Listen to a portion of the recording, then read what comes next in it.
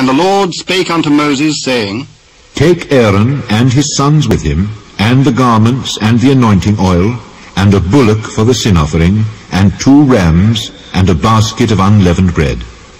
And gather thou all the congregation together unto the door of the tabernacle of the congregation. And Moses did as the Lord commanded him. And the assembly was gathered together unto the door of the tabernacle of the congregation. And Moses said unto the congregation, This is the thing which the Lord commanded to be done. And Moses brought Aaron and his sons, and washed them with water. And he put upon him the coat, and girded him with the girdle, and clothed him with the robe, and put the ephod upon him. And he girded him with the curious girdle of the ephod, and bound it unto him therewith. And he put the breastplate upon him. Also he put in the breastplate the Urim and the Thummim, and he put the mitre upon his head. Also upon the mitre, even upon his forefront, did he put the golden plate, the holy crown, as the Lord commanded Moses. And Moses took the anointing oil, and anointed the tabernacle and all that was therein, and sanctified them. And he sprinkled thereof upon the altar seven times, and anointed the altar and all his vessels, both the laver and his foot, to sanctify them. And he poured of the anointing oil upon Aaron's head, and anointed him to sanctify him. And Moses brought Aaron's sons, and put coats upon them, and girded them with girdles, and put bonnets upon them, as the Lord commanded Moses. And he brought the bullock for the sin offering. And Aaron and his sons laid their hands upon the head of the bullock for the sin offering.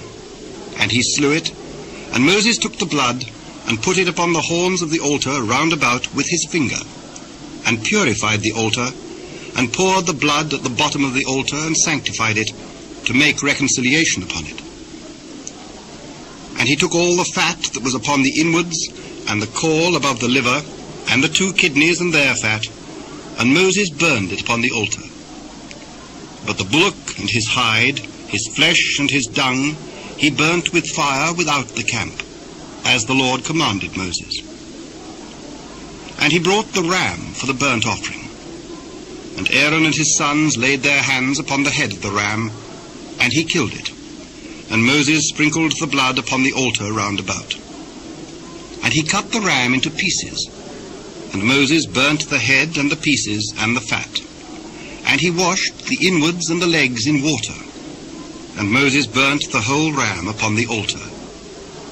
It was a burnt sacrifice for a sweet savour, and an offering made by fire unto the Lord, as the Lord commanded Moses. And he brought the other ram, the ram of consecration. And Aaron and his sons laid their hands upon the head of the ram, and he slew it. And Moses took of the blood of it, and put it upon the tip of Aaron's right ear, and upon the thumb of his right hand, and upon the great toe of his right foot. And he brought Aaron's sons, and Moses put of the blood upon the tip of their right ear, and upon the thumbs of their right hands, and upon the great toes of their right feet. And Moses sprinkled the blood upon the altar round about. And he took the fat and the rump, and all the fat that was upon the inwards, and the caul above the liver, and the two kidneys and their fat, and the right shoulder. And out of the basket of unleavened bread that was before the Lord, he took one unleavened cake, and a cake of oiled bread, and one wafer, and put them on the fat and upon the right shoulder. And he put all upon Aaron's hands, and upon his sons' hands, and waved them for a wave offering before the Lord. And Moses took them from off their hands, and burnt them on the altar upon the burnt offerings. They were consecrations for a sweet savour. It is an offering made by fire unto the Lord.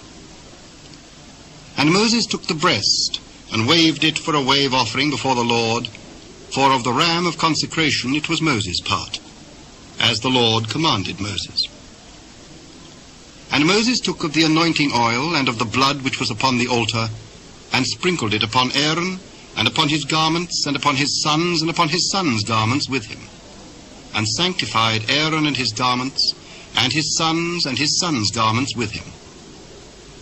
And Moses said unto Aaron and to his sons, Boil the flesh at the door of the tabernacle of the congregation, and there eat it with bread that is in the basket of consecrations, as I commanded, saying, Aaron and his sons shall eat it.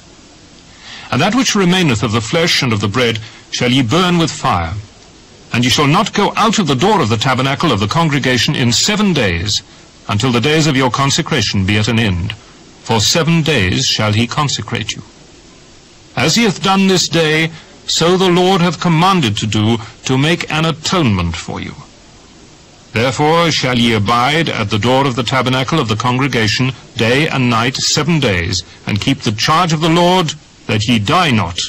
For so I am commanded.